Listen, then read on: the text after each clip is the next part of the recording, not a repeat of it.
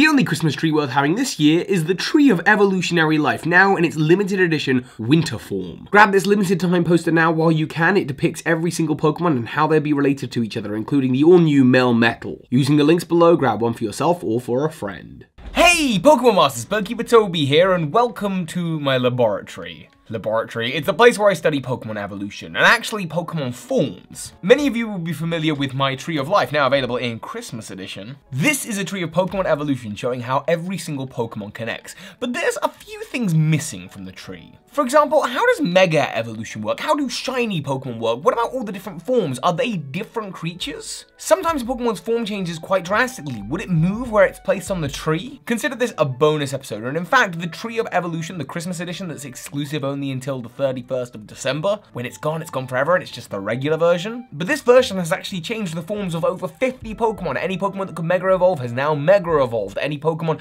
that has a form variant that's more winter themed, we've gone for that. But even if the Pokemon doesn't move places on the tree, I want to cover everything. Shiny Pokemon, gender variants, and Pokemon forms. How, would how do they all work at least? This is a bonus episode, and we're starting off with shiny Pokemon. So, shiny Pokemon or color different Pokemon. They weren't originally called shiny or shining Pokemon, they were just color variations. And in our world, there is variation in the color of our skin and our eyes and our hair. These to do with pigments and specifically something called melanin.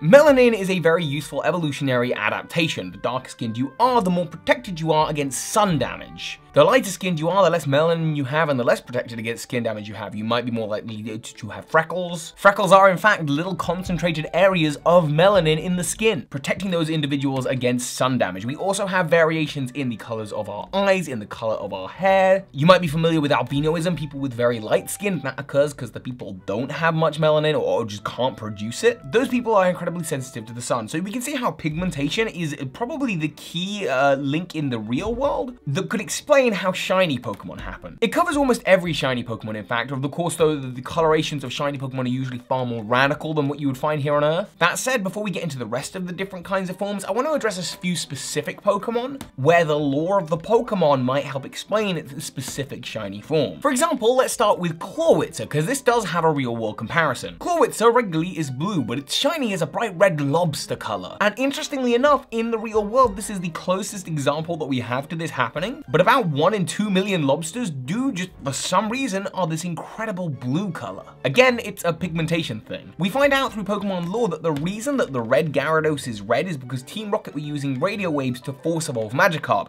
and red Gyarados is red because it still has Magikarp's red orangey coloration. Again, this kind of implies a genetic aspect to it, that the, the forcing of evolution somehow messes with the genetic code of the Pokemon, and so the pigments change. This is actually very similar to the Pokemon that appeared in the Pokemon card game under the Delta species Pokemon. There are a lot of shiny Pokemon or shining Pokemon in this set, and the Delta species Pokemon, for those of you who don't know, are Pokemon cards that are the uh, that are different types of what they would normally be. And the lore explaining this is that there's this team looking for Mew, and they used radio waves, much like Team Rocket did with the Red Gyarados. They used these radio waves, and it affected all the Pokemon on the island, changing their types, changing the genetic structure, turning them into the Delta species Pokemon. Something interesting and not really explained by anything is just that the Jigglypuff line and Clefairy line, they're shinies, they just show a relationship between these two Pokemon, which I've talked about in previous episodes. Nidoking's shiny is the same regular coloration as Nidoqueen, and there is a theory suggesting that Nidoqueen might actually be a clone of Nidoking, which suggests why it can't breed and why it is a different kind of gender variant. As is the case for all rock, steel, and ice Pokemon, they may be made up of different materials, different minerals. You can very clearly see this in Gigalith. Gigalith is probably one of my favorite shiny Pokemon, clearly with different different stones in it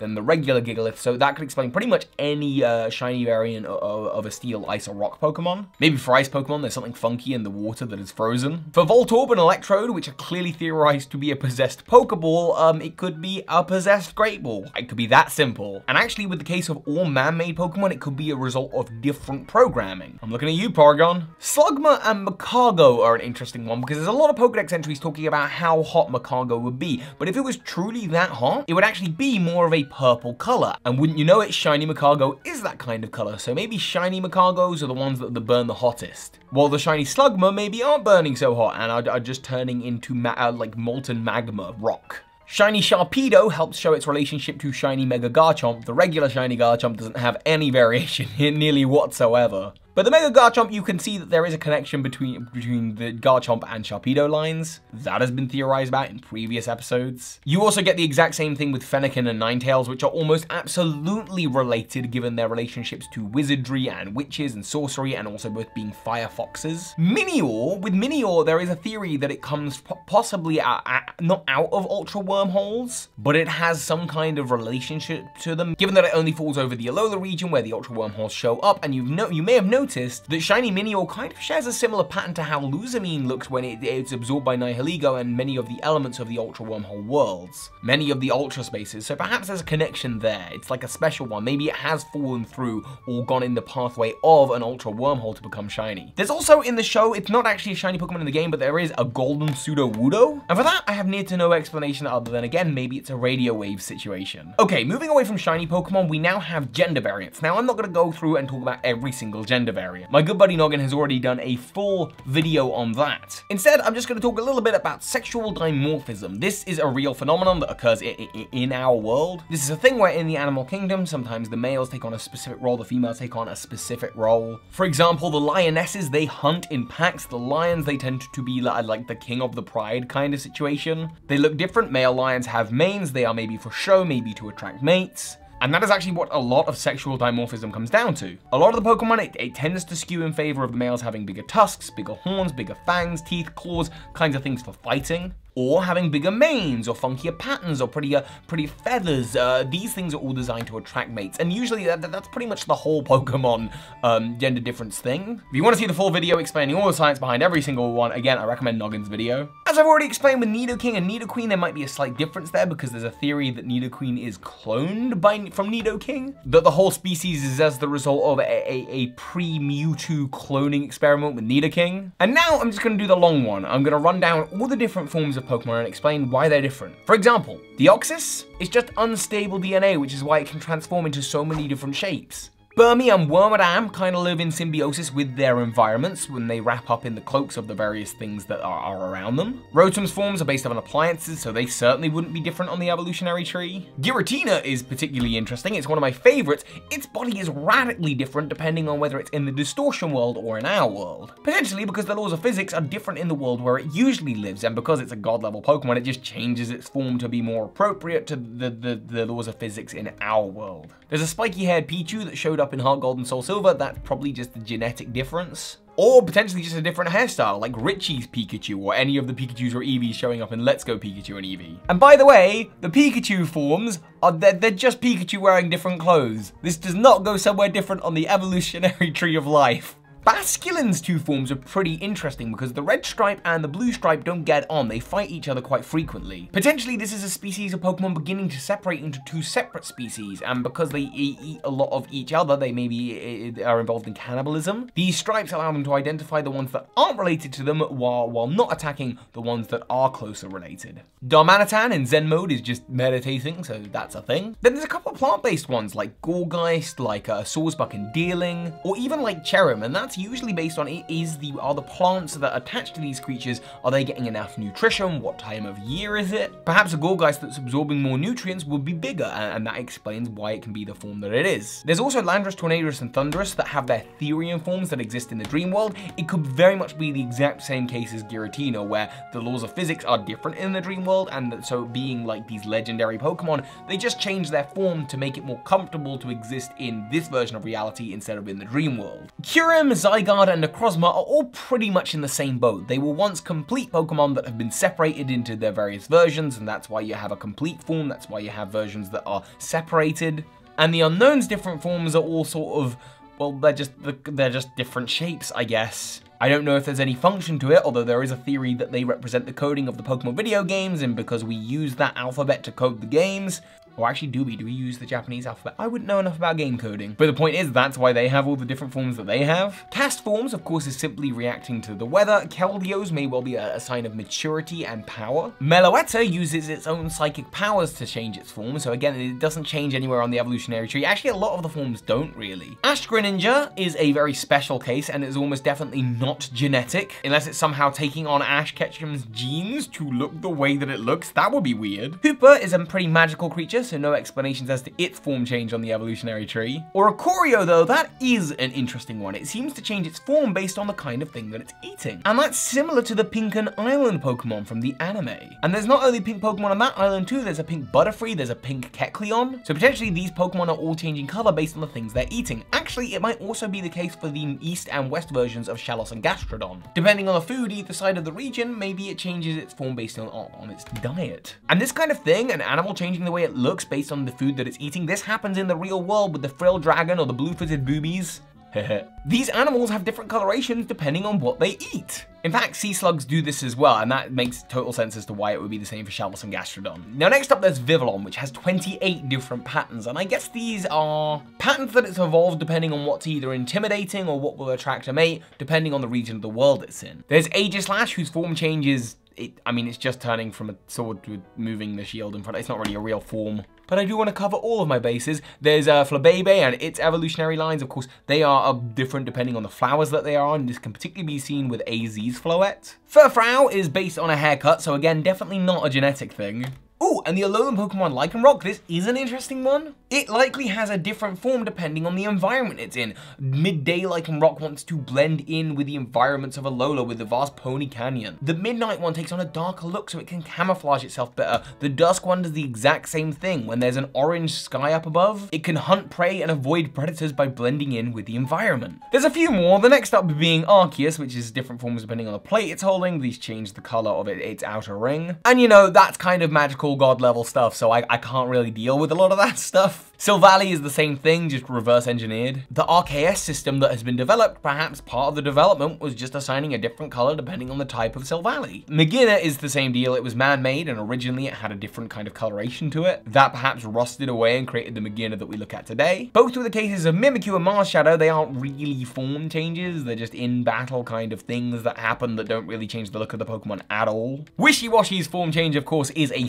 schooling tactic, so it's not actually, it, it's not even, uh, the large Wishiwashi is not one Pokemon. It is a school of lots of Pokemon. Back to Minior, it's going to be based on the different minerals and gases that, com that compose the Minior core. That's why it's going to have all those different colors. And now we move on to our last interesting ones, including the totem Pokemon and size differences like what you see in Let's Go with the large Pokemon and the small Pokemon. Totem Pokemon are generally bigger. That's just going to be based on what they eat, really. How much of it they eat. We also have some interesting Pokemon in the show. There's the clone Pokemon in the first movie that have been genetically enhanced, and so as a result of their genetics changing, they have these different patterns on them. On Valencia Island, there are Pokemon with variations. These are just like the Alolan forms, really, just a, a lot more tamed down. And the Alolan forms, by the way, they were already on the evolutionary tree. There's an Exeggutor with five heads, perhaps in places it's sunnier. That is a variant of Exeggutor that exists. There are so many different Magikarp and Magikarp Jump, but when Magikarp is the most prevalent Pokemon on the planet, spanning absolutely everywhere, it's no wonder that there are that many different variations of it. Spinda is a really cool one because there's like billions or millions of forms of Spinda with different spot patterns everywhere. And that makes sense because when they are all in a group and it's a, a group behavior and they're all dancing around like this clumsily, if you're an attacking Pokemon and you see lots of Spindas together, all of these red flashing dots moving about as one big mass movement, it would be terrifying. So it's a defense mechanic.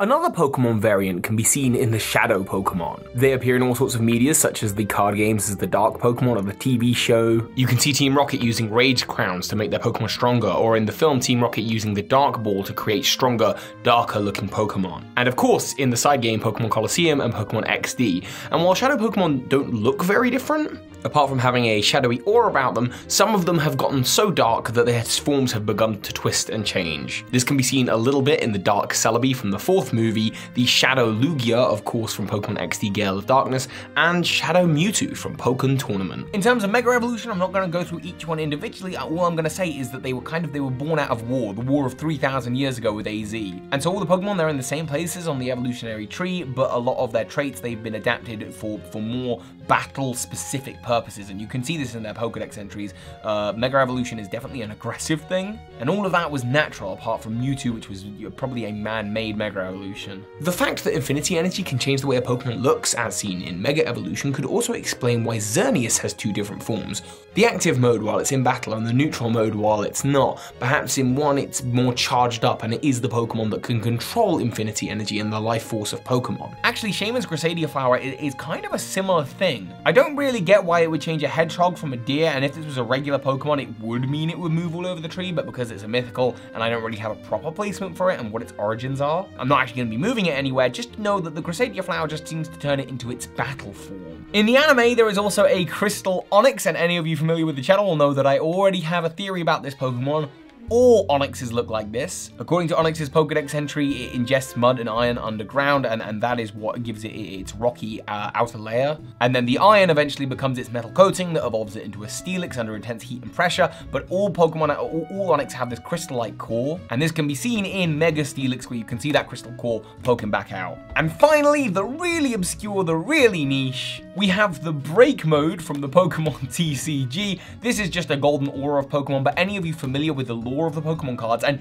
yes, by the way, there is a lore within the Pokemon card world. The break Pokemon actually come from alternate dimensions, so in that dimension, maybe this is their form of shiny Pokemon, Maybe this is another variation on Mega Evolution or Z moves. Either way, these golden Pokemon, yeah, they come from another dimension. I do not have an explanation for that variation. There is also a Groudon that appears in the Jirachi movie that is very different to any other Groudon you may have seen. Uh, it was created likely from memory, and so it is not really a Pokemon, it is an imperfect form. Also in one of the movies, there is a Deoxys that has a different colored gemstone. Uh, likely, again, the, the, the comet that was traveling, the mutated into Deoxys, it just, it was a different colored comet made up of different materials materials. And finally, there are the primal reversions, Groudon and Kyogre, which of course are Groudon and Kyogre using the energy of the world, the pure energy, infinity energy that's flowing in the world to have these more powerful forms, and potentially Primal Dialga from the Mystery Dungeon series is exactly the same. Now, this has been a long bonus episode. There was, has been a lot to cover here, but there is at least one more bonus episode because there are some other Pokemon out there that aren't even really Pokemon, and I want to discuss those. Things like Slowbro's Shell, which is supposedly a Shellder, only Shellder doesn't look like that. Or what about anime exclusive things? There is a lot of really obscure bit of Pokemon lore that I, that I do want to talk about with you. So of course, look out for that video as well as episodes covering any new Pokemon that are going to get announced over the next year. Don't forget you can get hold of an Evolutionary Tree of Life poster link at the top of the description. Of course, if you're getting seeing this video before the year is up, then there's a chance to get hold of the exclusive Christmas poster, which has lots of form changes, lots of bonuses. Let me know what you think about this video in the comments, and of course, so hi Pokemon Masters. A massive shout out goes to my incredible patrons, many of who you can see the name of on screen now. Most of all to the big patrons of the month, Yoni Sobin and Xavis. If you want to find out how you can support the channel, please check out the links to Patreon in the description below and get some of those sweet, sweet perks. Thank you.